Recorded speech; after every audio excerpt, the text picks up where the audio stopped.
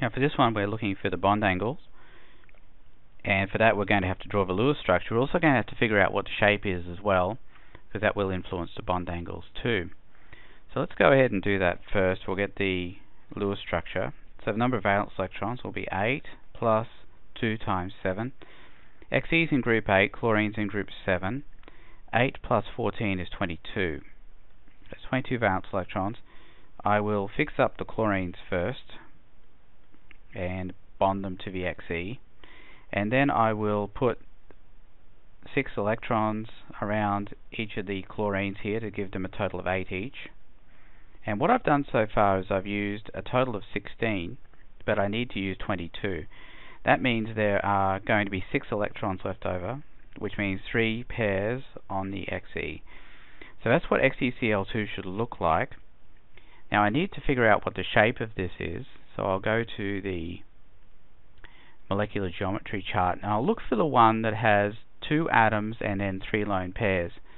And you'll see it's this one here. It's called linear. And I'm going to go ahead and I'm going to go ahead and draw that the way that this is drawn here. So it's going to be linear, three lone pairs, and then two atoms attached. And you'll see that matches what we've got over here. So I will go ahead and redraw that. I'm just basically copying what I'm seeing on that diagram there. There's my lone pairs, and there's the chlorines here. I won't bother putting the things on the chlorines, but that's what it looks like. So the bond angle there would be fairly simple. It would just be 180 degrees.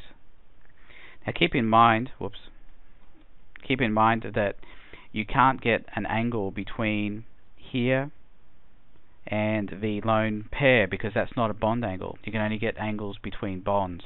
So don't bother doing anything like that. Just focus on the angles between bonds here.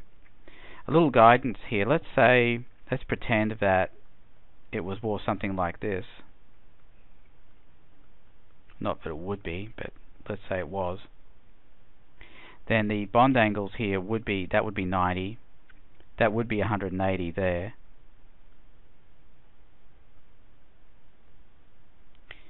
180 degrees and then this here would be in the plane it'd be 120 degrees. And you should watch my videos if you want more guidance on figuring out bond angles